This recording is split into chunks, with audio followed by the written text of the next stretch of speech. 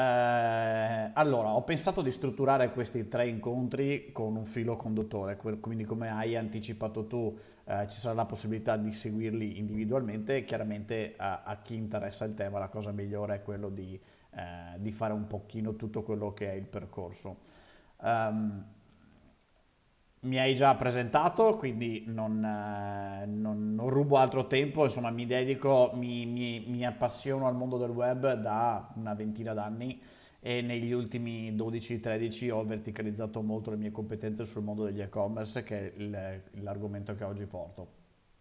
Allora, il percorso l'ho riepilogato qui, quindi quello che vedremo oggi è un pochino l'infarinatura generale, quindi il fatto che ci troviamo di fronte a un mercato, eh, a un nuovo mercato che è il mercato della vendita online che offre determinate possibilità, allo stesso tempo bisogna stare un pochino attenti perché eh, come ogni cosa ci possono essere una serie di criticità che vanno valutate. Fatta questa, diciamo, eh, introduzione generale che è quello che facciamo oggi, vedremo venerdì prossimo tutta la parte un po' di pianificazione, quindi tutto quello che è la, la strutturazione dell'idea eh, in modo che possa essere poi pianificata e messa giù a terra e finiremo eh, venerdì 27 novembre con tutta la parte un po' di strategie, quindi nel momento in cui abbiamo l'idea, abbiamo le, le, le idee chiare, abbiamo l'idea, abbiamo la pianificazione, come, quali canali, come utilizzarli per poi fare una crescita. Uh, quindi il,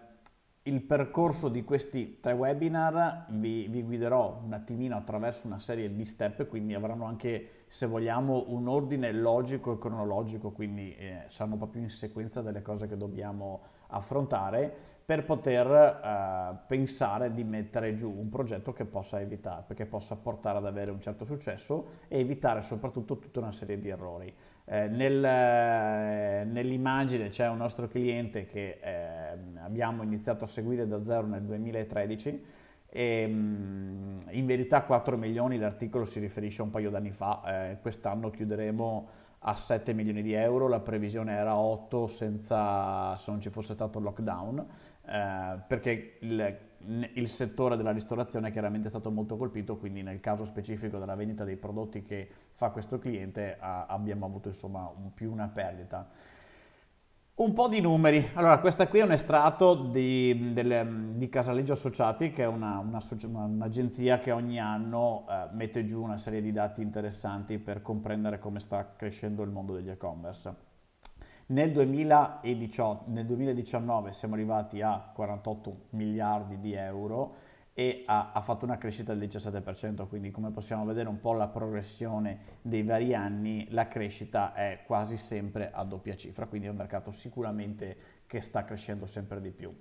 Eh, effetto Covid, prima parte, nel senso che chiaramente i dati si riferiscono al,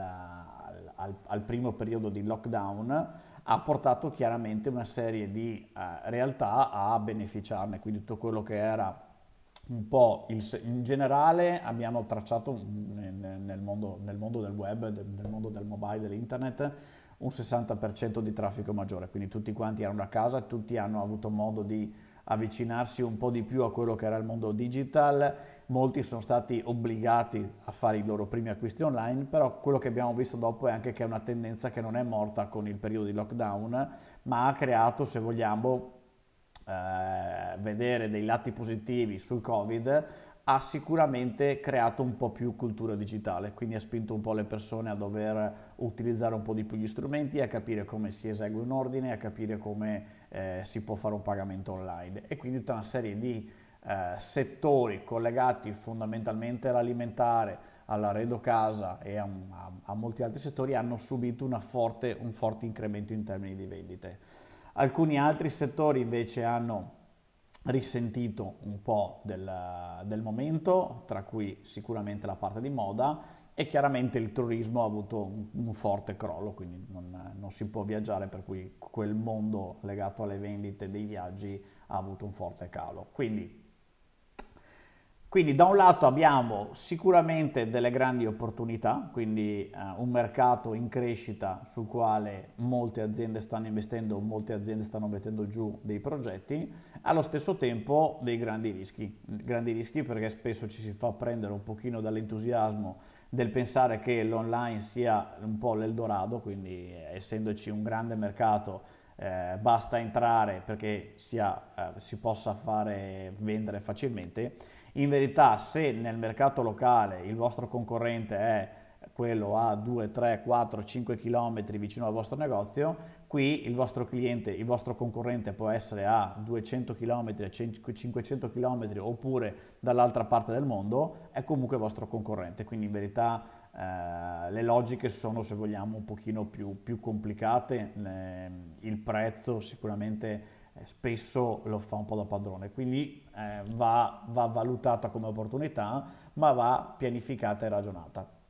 Cosa serve quindi per arrivare a eh, non buttare via i soldi, quindi non fare uno dei, del, un ennesimo progetto e-commerce che poi eh, resta lì e non porta i risultati che, che, che, si sperava. Innanzitutto bisogna partire dall'idea, quindi avere un'idea di, eh, di mercato, un'idea innovativa, un'idea di, di, di creare quel Uh, quei vantaggi competitivi per cui sappiamo che creeremo, che andremo a proporre un prodotto che avrà in qualche maniera dei vantaggi rispetto alla concorrenza, rispetto a chi è già presente da diversi anni. Uh, per fare questo quindi passeremo attraverso un processo di analisi del mercato, quindi capire chi è già presente e um, come um, chi è già presente, con che prodotti, quindi fare un minimo di valutazioni su quello che è il mercato che vogliamo andare ad attaccare da lì inizieremo a valutare come sviluppare un piano d'attacco, quindi come aggredire quella nicchia di mercato. Vedremo nel, nel, nei vari incontri anche la parte dei numeri, quindi ci sono dei numeri, dei numeri, che dobbiamo avere ben chiari del nostro modello di business per capire se siamo più o meno, uh, se abbiamo più o meno possibilità di avere successo. Un minimo di base sugli aspetti tecnici, questo corso non sarà tecnico, questi, questi tre webinar non saranno tecnici ma saranno un po', un po', più concettuali, però un minimo di nozioni tecniche le andremo a vedere e poi quello che, abbiamo visto, insomma tutte quelle che sono le basi del marketing per capire quali sono i canali che possono esserci utili e come sfruttarli. Dovete quindi diventare dei mini Einstein del, del mondo dell'e-commerce? Dipende, nel senso che eh, chiaramente più avete competenze, più avete possibilità da un lato di evitare errori, da un lato magari anche andare a risparmiare dei soldi, quindi se non dovete comprare ogni singola attività possiamo, eh, potete bilanciare la cosa. Mm, prima di iniziare a entrare un pochino nel vivo sulla, sulla parte e-commerce, ci sono tre elementi che spesso vedo un pochino sottovalutati, che se vogliamo sono tre elementi di qualsiasi business, infatti più avanti vedremo come voglio spostare il focus dall'idea di e-commerce come apro una vetrina in più a come progetto imprenditoriale vero e proprio. Nel momento in cui si affronta un progetto imprenditoriale, che sia un progetto e-commerce o qualsiasi altro tipo di progetto, dobbiamo mettere in conto che questo progetto ci eh, richiederà del tempo, ci richiederà degli investimenti e ci richiederà delle competenze.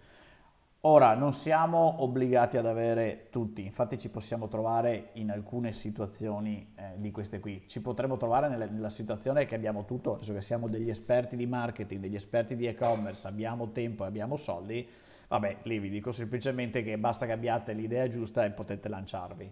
Ma questa situazione diciamo che tendenzialmente non c'è, non c'è mai, è un po' utopica. Quello che invece possono esistere come situazioni è magari la situazione in cui voi avete del tempo e del budget da dedicare, ma vi mancano le competenze. Le competenze tendenzialmente insomma, sono facilmente acquistabili sul mercato, esistono agenzie come la mia e mille altri consulenti che vi possono aiutare. Se siete in questa condizione, il consiglio che vi voglio dare è formatevi, nel senso che chiaramente se non avete la base per capire cosa vi stanno proponendo, il rischio è quello di scegliere il consulente sbagliato, il rischio è quello di fare, eh, scegliere la piattaforma, scegliere, fare, fare insomma, delle scelte che sono dettate dalla mancanza di competenze, quindi sicuramente in questa situazione di avere quel minimo di formazione sul settore aiuta, aiuta tantissimo, per cui questo è un po' il consiglio. Potreste trovarvi nella situazione in cui invece avete tempo, avete le idee e vi manca il budget. In questo caso qui una parte delle attività magari potete svolgerle voi direttamente perché avete materialmente il tempo per farlo e se l'idea è interessante tendenzialmente trovare chi ci mette i soldi non è un problema, so che nel momento in cui avete eh, l'idea giusta e iniziate a strutturarla, la portate a un certo livello, poi in qualche maniera chi ci mette i soldi lo, lo, lo troviamo sempre. Potresti trovarti nella condizione invece in cui tu hai la capacità di investimento, hai le idee chiare ma non hai tempo, in questo caso è abbastanza semplice, quindi si tratta di delegare l'attività e avendo le competenze saprai anche filtrare e trovare le giuste, le giuste figure.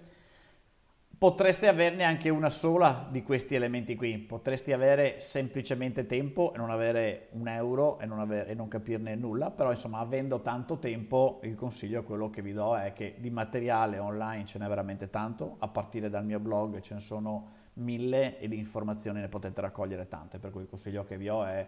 studiate, applicatevi e, e, iniziate ad aumentare quelle che sono eh, le vostre conoscenze. Se invece vi trovate nella fase in cui avete budget, quindi volete fare principalmente da investitori in progetti,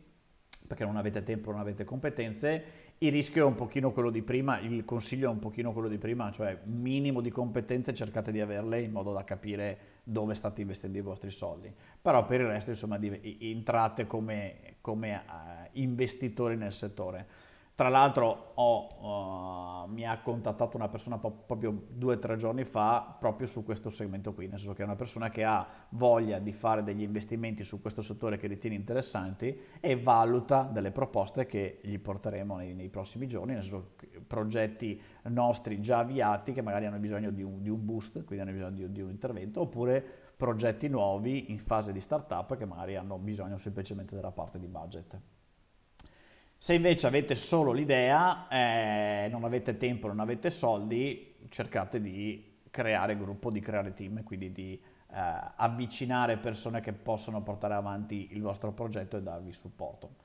Questi eh, tre fattori, se non hai nessuno dei tre fattori, eh, parti dal tempo, quindi cerca di liberare tempo, cerca poi di acquisire competenze e cerca poi di arrivare a un investitore che ti aiuti nel progetto.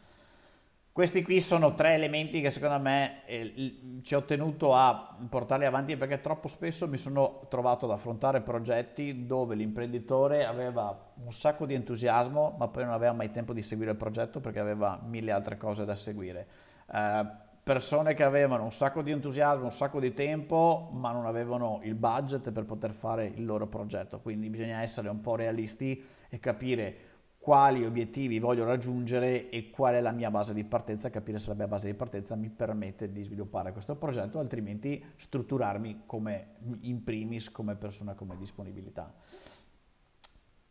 È sempre fallimentare un e-commerce? Secondo me avere, eh, abbracciare un progetto e-commerce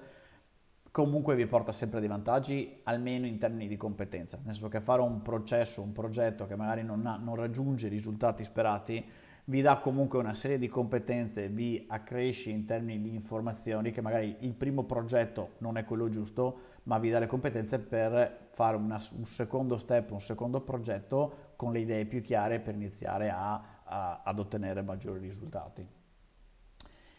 Partiamo dalla parte del giusto mindset, quindi di avere la mentalità giusta per fare il progetto e-commerce. Mm, quello che mi succede ancora oggi, sempre un po' meno per fortuna, ma ancora oggi, è che ci sia una semplificazione, un'estrema semplificazione di quello che è un progetto e-commerce. Parto dall'idea, vendo formaggio in centro Padova, apro l'e-commerce, quindi spendo i 5, 10, 20, 30 mila euro di piattaforme in base a come la voglio strutturare, so, sono visibile sul mondo, quindi devo solo incassare i soldi e spedire il pacco. Se poteva funzionare nel 2005, quando la competitività di questo settore era pressoché nulla, oggi è abbastanza utopistico avere una visione così ristretta di, di, un, di un progetto e-commerce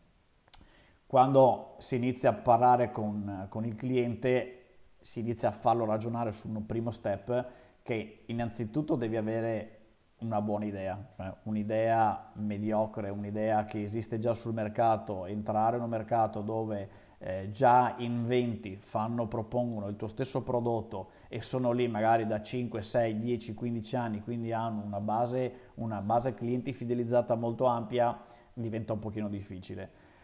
L'altro tassello che iniziamo a introdurre è fare marketing, nel senso che se abbiamo il nostro bellissimo negozio, ma è una cattedrale sul deserto perché non ha traffico, non ha persone che lo conoscono e che accedono, non avremo mai possibilità di generare vendite. Quindi il marketing cosa vuol dire? Vuol dire aprire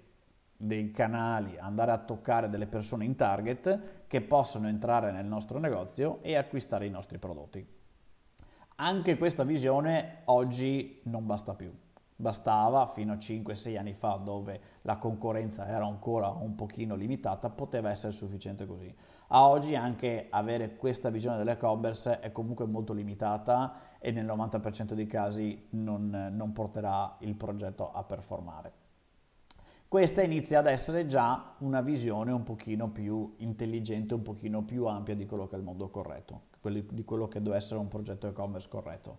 Quindi parliamo un po' di business model, di come pensiamo di generare utili per la nostra azienda, quindi eh, studiando il mercato e pianificando la strategia di posizionamento. Come posso trovare il sistema di essere, chiamiamolo unico sul mercato, o comunque avere degli elementi per il quale il cliente che vedrà il nostro prodotto, il nostro e-commerce inizierà a valutare di acquistare da noi, non, non, abbia altri 60 come scelte e che noi non siamo la scelta preferibile per un determinato target di persone. Solo in quel caso, quindi fatto il primo step di, eh, di valutazione del mio, del mio progetto, mi sposterò a realizzare l'e-commerce inteso come piattaforma tecnica dove le persone possono mettere il prodotto a carrello e, e, concludere una transazione, andrò poi a fare marketing, inizierò a ragionare sulla logistica, quindi in quanto tempo riesco a spedire, come riesco a spedire, quanti pacchi riesco a spedire al giorno e inizierò a ragionare su un customer care, nel senso che se eh, Amazon che è freddo e non ha la possibilità di parlare con persone, comunque offre un'esperienza di acquisto buona, noi dobbiamo andare sopra quell'esperienza, dobbiamo magari essere più presenti, dobbiamo rispondere in chat, dobbiamo magari eh, consigliare il cliente, fare una telefonata se abbiamo immagini e le possibilità, in modo da fare l'ultimo step, uno sviluppo del cliente. Il cliente che compra da noi una volta e poi non lo vediamo più, ehm, mi porta a dover fare margine sulla prima vendita. Quindi se io vendo un prodotto da 100 euro e ho un margine di 15 euro e un cliente mi costa 10 euro, io marginerò quei 5 euro lì e basta. Se invece quel cliente riesco a svilupparlo una percentuale e riesco a farmi fare un acquisto ogni 6 mesi, ogni anno, ogni mese, in base a quello che è il mio modello di business, chiaro che le vendite successive andrò a farle a costo quasi zero e quindi riuscirò ad avere sulla seconda vendita molto più margine rispetto alla prima.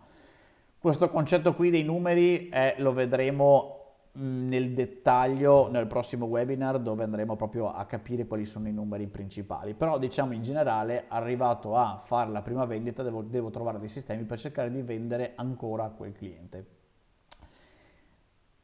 si tende a pensare che nel momento in cui io faccio il progetto e dopo sei mesi, un anno, due anni il progetto non funziona, tendenzialmente l'azienda inizia a cambiare agenzie di marketing, ne cambia una, ne cambia due, ne cambia tre e nessuna agenzia riesce a portare risultati. Poi il cliente inizia a pensare che ha sbagliato piattaforma, che il, non è sufficientemente bello, non è sufficientemente veloce, non è sufficientemente eh, completo come funzionalità e inizia magari a continuare ad aggiungere e spendere soldi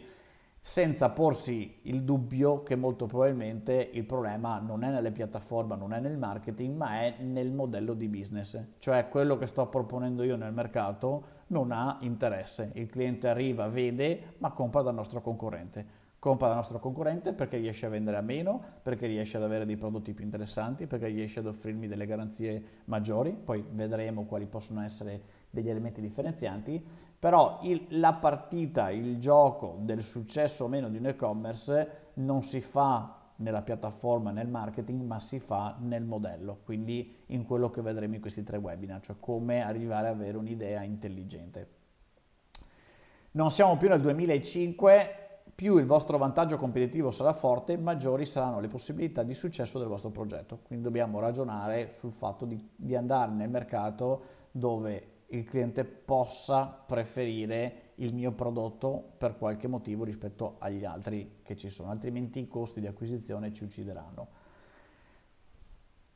le, ve, ve, l'ho accennato un po' all'inizio, è importante a mio avviso che, inizia, che chi vuole approntare un progetto di vendita online non inizi a vederlo come ho il negozio fisico, apro una seconda vetrina che è anche online, che è quello che spesso si fa e che non è sbagliato, cioè non è che se voi avete un business offline non sia da valutare di affiancare un business online. Quello che è sbagliato è di vederla come estensione, come vetrina in più di quella che è la mia attività e non vederlo come un nuovo progetto imprenditoriale su un mercato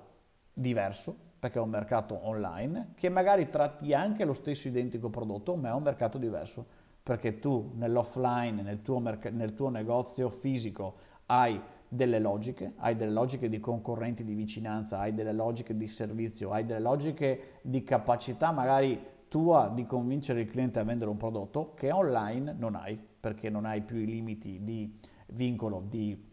vicinanza, quindi il tuo concorrente possono essere invece di due nell'arco di 30 km possono essere 100,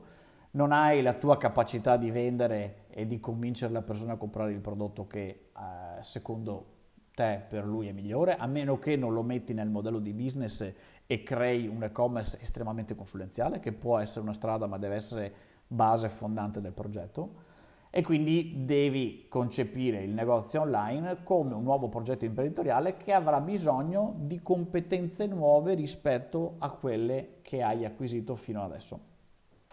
Ehm, ok, quindi partiamo da un concetto. Ah, volevo farvi un esempio perché ho parlato ho finito una call mezz'ora fa con un cliente che vende, che ha un, una gioielleria a Parma uh, e vende benissimo alcuni prodotti tipo orologi dove il brand è ben identificato, il target ha le idee chiare e chiaramente essendo una grossa orologeria anche, riesce anche a essere competitivo sui prezzi quindi la leva è abbastanza semplice, ho il prodotto che tu vuoi eh, e riesco a fornirti un buon prezzo in abbinata però ha anche la possibilità di avere delle edizioni limitate che hanno solo loro e su quei prodotti lì riescono a marginare di più, quindi hanno anche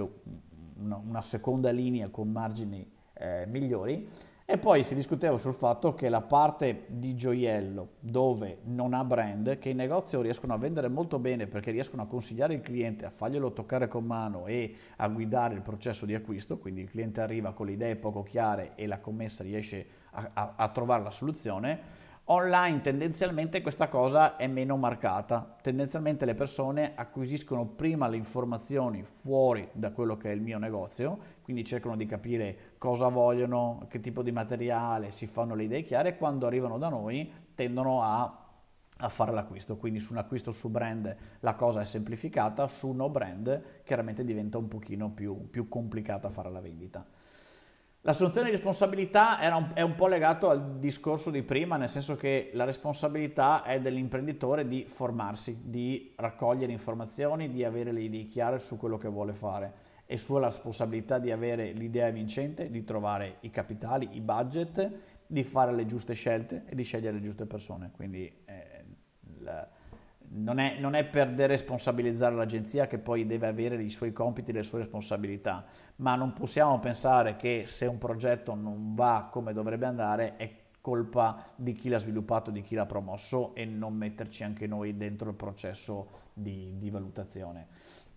Quindi l'agenzia non serve a nulla, no, l'agenzia può avere diversi ruoli, può avere un ruolo in affiancamento in fase iniziale su quella che è la valutazione dell'idea imprenditoriale, quindi capire con voi con numeri, con dati, con informazioni, con quelle che sono le informazioni che eh, il consulente ha, di fare dei ragionamenti assieme. È chiaro che il consulente e chi opera nel settore e-commerce ha le competenze di quello che è il mondo in generale dell'e-commerce, voi avete le competenze di quello che è il vostro mercato, la vostra nicchia. Quindi voi sapete chi è il vostro target, cosa desidera, quali sono i prodotti che, che vuole, il consulente sa come funzionano i processi di acquisto e quali sono le cose che un utente online. Le due cose unite portano a successo, se le due cose restano slegate tendenzialmente non si va da nessuna parte. Poi Dobbia, dovete tenere conto sempre che l'agenzia è in qualche maniera molto spesso in conflitto di interesse perché spesso andate a fare la consulenza dall'agenzia che poi dovrebbe vendervi la piattaforma e dall'agenzia che poi dovrebbe vendervi il marketing. Quindi un'agenzia che vi dica il vostro progetto secondo me non ha senso e si perde tutta una filiera di vendita,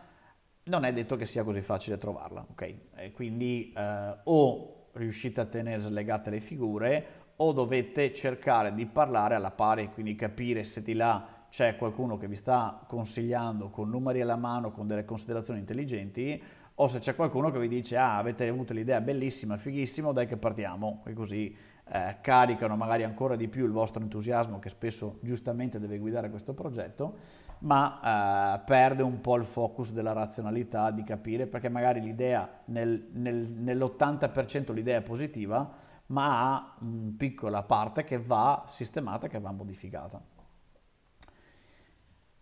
Se non funziona di chi è la colpa, eh, a me piace fare un piccolo paragone, nel senso che ne, se eh, un imprenditore domani apre un negozio fisico e decide di iniziare a vendere un determinato prodotto e dopo un anno, un anno e mezzo il negozio non raggiunge eh, i risultati che si era posto, tendenzialmente le persone iniziano a chiedersi forse ho sbagliato zona, forse sto sbagliando prodotti, forse la commessa che vende non è così brava come penso, si fa de- dei ragionamenti su cosa, su quali sono le scelte che sono state sbagliate.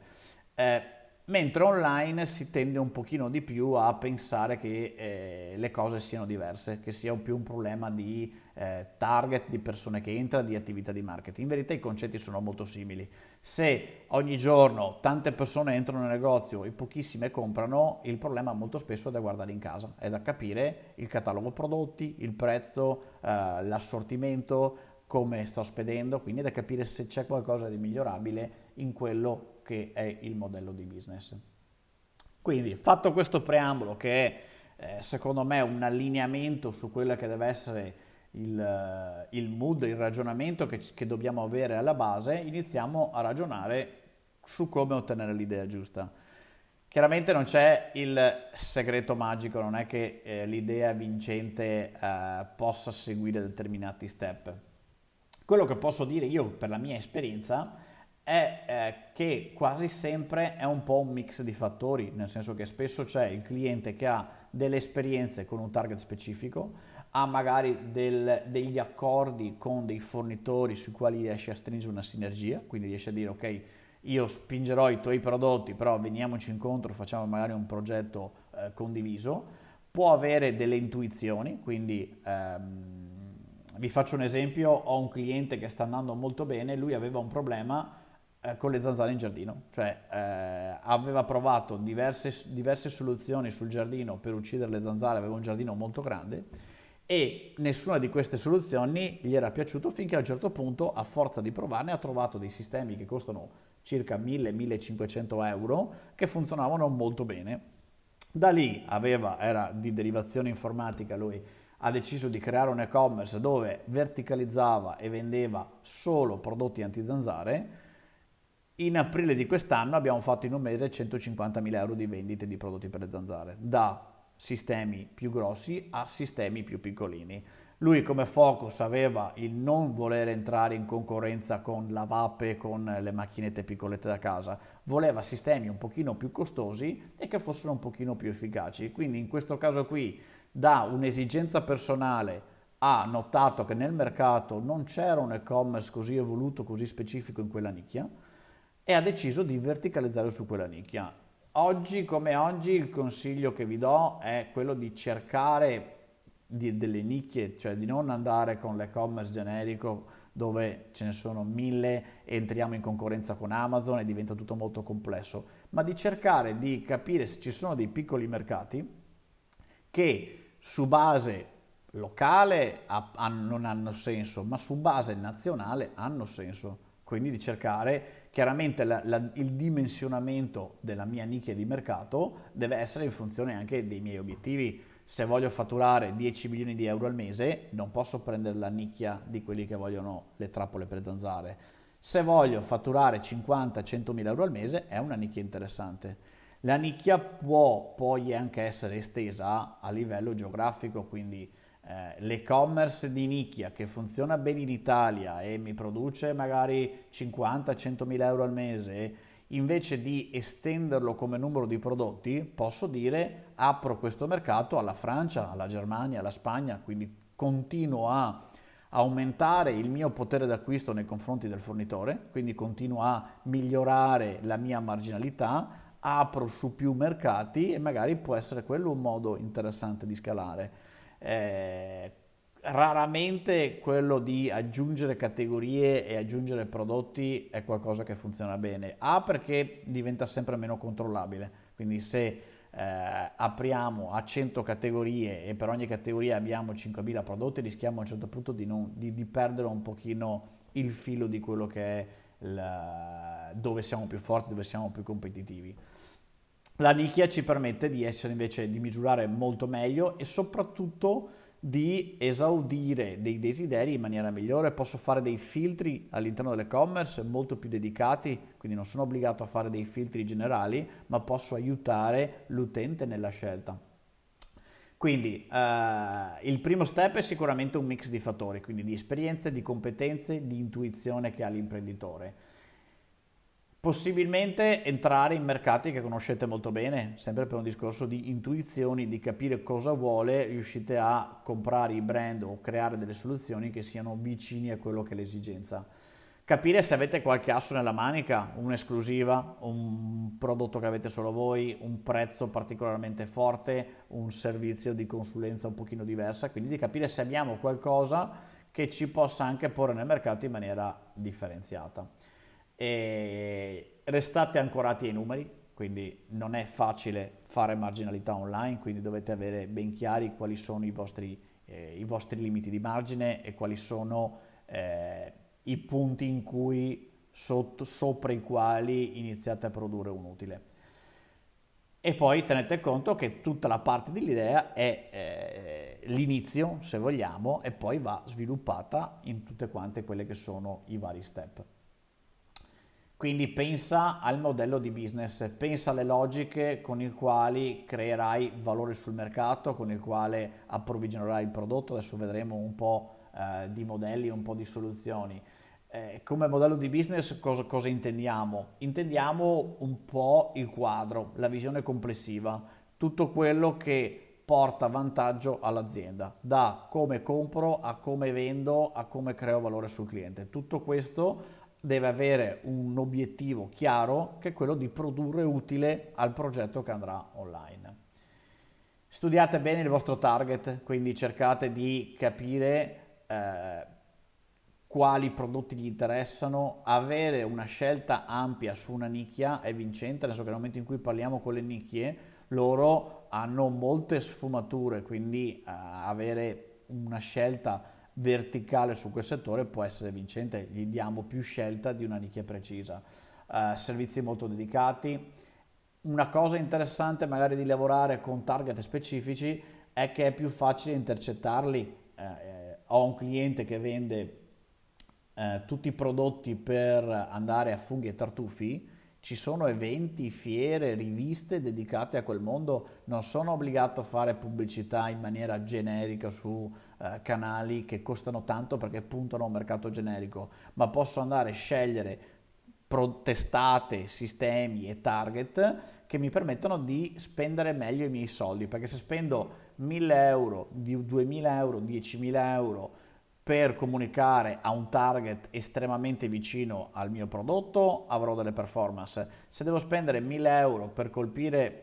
le persone un po' a caso, quindi devo fare la pubblicità su Facebook generalista piuttosto che devo fare delle pubblicità molto molto generiche, spenderò molti soldi per avere un tasso di conversione un pochino più bassi.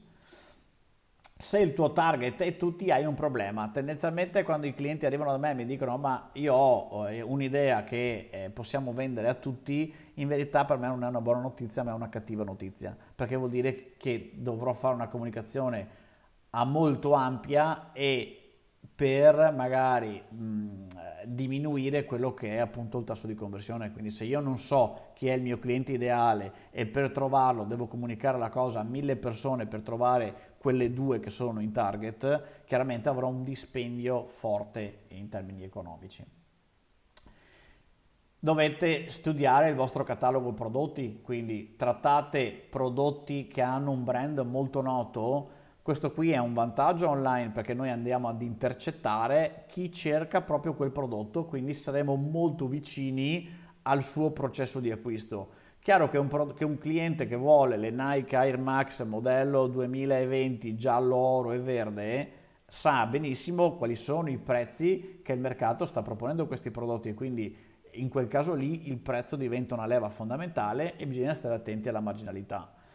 Se invece lavoriamo con prodotti che non hanno brand, allora dobbiamo lavorare un pochino sulla credibilità, sulla credibilità del negozio in primis, quindi dobbiamo essere credibili come comunicazione ma anche sui prodotti, magari dobbiamo spostarci un pochino di più sulle caratteristiche tecniche, se possiamo eh, dare un anno più di garanzia su quel prodotto, diamolo perché in qualche maniera aumentiamo la fiducia del cliente su quel prodotto, più un prodotto a garanzia, più tendiamo a pensare che sia di qualità e di buona fattezza. Se hai dei prodotti che invece produci tu direttamente, devi lavorare un pochino sul brand perché nel momento in cui il cliente arriverà a valutare il tuo prodotto magari ha altre due o tre marche in testa estremamente più note. E quindi o eh, ti posizioni come alternativa molto economica ma spesso qui vai sempre a erodere la tua parte di margine oppure ti proponi come soluzione più figa per una determinata eh, nicchia di clienti e in quel caso lì devi lavorare un pochino sul brand e fare un minimo di attività di, di crescita sul brand. Se invece abbiamo dei prodotti innovativi e quindi le persone non stanno cercando quel prodotto perché non sanno nemmeno la loro esistenza, dobbiamo fare un'attività eh, di stimolazione, quindi dobbiamo essere noi che andiamo a capire chi è il nostro target ideale e gli proponiamo un prodotto, una soluzione che lui non conosce. Qual è il vantaggio? Che spesso non abbiamo concorrenti, quindi è un po' più difficile perché dobbiamo stimolare e far conoscere il prodotto nel momento in cui però abbiamo intercettato il cliente ideale e gli abbiamo proposto la nostra soluzione, sappiamo che sul mercato non trova alternative e quindi diventerà un cliente che è disposto a spendere più soldi e eh, a consigliare il nostro prodotto e lasciarci più marginalità sul prodotto. Dovete ragionare sulla logistica, che è uno step importante dell'e-commerce volete strutturare un magazzino, il magazzino potete farlo internamente oppure ci sono delle aziende che ve lo offrono a servizio, quindi vi danno la possibilità di pagare un tot al metro, un tot al picking per il prodotto. Uh, trattate prodotti particolari, infiammabili, freschi, surgelati, tenete in considerazione che ci sono dei packaging che sono molto più costosi rispetto ai packaging normali, quindi uh, abbiamo dei, dei, dei limiti che però possono essere dei vantaggi perché magari scoraggiano la concorrenza a fare quel tipo di vendita dove magari noi riusciamo a essere più performanti. Può essere un elemento per differenziarti, quindi se abbiamo, se i nostri concorrenti eh, consegnano in 5-6 giorni e noi riusciamo a essere più bravi a consegnare in un giorno, questo può essere un vantaggio. Eh, non tutti i business oggi stanno consegnando in 24 ore. Pensiamo a tutto il mondo del personalizzato. Noi abbiamo un cliente che fa tende su misura. Eh, se tu vuoi una tenda su misura, i loro competitor ci mettono 5, 4, 5, 6 giorni. Loro in 24 ore ricevono l'ordine, ti confezionano la tenda e te la inviano. Quindi in quel caso lì le 24-48 ore sono un forte elemento differenziante in altri settori dove è sdoganata l'invio delle 24 ore, se tu invii in tre giorni le tue performance calano drasticamente perché il mercato è abituato a comprare oggi e ricevere domani, quindi dipende molto dalla tipologia di prodotto. Esiste il dropshipping, quindi il dropshipping cos'è? È quel sistema nel quale io decido di non fare magazzino, faccio un accordo con un fornitore, un produttore io faccio la vendita, comunico a questo mio partner che ho fatto la vendita e lui farà l'invio per conto mio. Quali sono i limiti un po' di questa, di questa scelta di dropshipping? A, se un cliente ti ordina quattro prodotti da quattro fornitori diversi, devi avere i costi di quattro spedizioni, quindi essere, inizia ad essere un po' problematico e la scelta del partner deve essere fatta con cura, perché poi spesso il partner non invia, non invia secondo i tempi, invia ma arrivano problemi e chiaramente il cliente ha come riferimento voi e quindi è qualcosa che può essere un modello di business interessante, ma che va ragionato bene con chi vogliamo farlo. Ragione in relazione al tuo budget, quindi inutile fare dei progetti faraonici e poi magari abbiamo un budget di 20, 30, 40 mila euro compreso il marketing. Dobbiamo, ehm, sono andato avanti, dietro, dobbiamo essere ponderati, quindi dobbiamo sapere che se abbiamo budget 10 non possiamo spenderne 9 in piattaforma e poi quando arriviamo al momento di attivare le campagne abbiamo esaurito tutto per fare la piattaforma. Se abbiamo budget 10 dobbiamo spenderne 2, 3 in piattaforma, 4 al massimo. La maggior parte del budget deve essere destinato alle attività di marketing che verranno dopo, quindi scegliere la piattaforma in relazione al proprio budget, eventualmente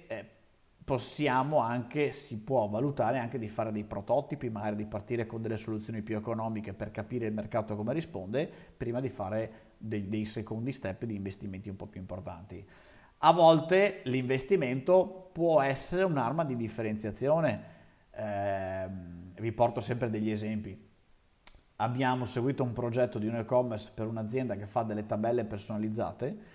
e abbiamo fatto un, un sistema dove la, la, chi entra nell'e-commerce può crearsi in autonomia la scritta, i loghi e, e, e, tutta la grafica in modo da poter da un lato agevolare molto eh, chi deve andare in produzione perché non deve più inviare bozze e farsi approvare la cosa. Dall'altro lato è vero che è un costo, ma è un costo che va a differenziare rispetto ai competitor che non hanno questa possibilità, quindi è un investimento che però ci ritorna come elemento di competitività. Quindi bisogna mettere un po' sul piatto tutto le nostre capacità e quali sono i vantaggi che ogni scelta in, ehm, di, di natura economica ci porta poi sul nostro modello di business. Nella scelta del budget cerca di essere realista, questa è una vignetta simpatica che gira eh, tra chi sviluppa nel settore web, in generale nel settore creativo. È chiaro che puoi giocarti sulla leva eh, budget, però magari ci mettiamo d'accordo che te lo consegno con tempi più lunghi, piuttosto che lo vuoi domani, però in qualche maniera dobbiamo, dobbiamo capire, o lo voglio super figo, voglio, lo voglio identico a Amazon, ma ho il budget di, che non è Amazon, quindi dobbiamo cercare un po' di arrivare a uh, un equilibrio di quelle che sono le richieste di eh, risultato, di tempistiche e di obiettivo. Chiaramente più avete le idee chiare, più eh, eviterete di navigare nella nebbia, quindi più riuscirete a evitare di andare addosso a qualcuno.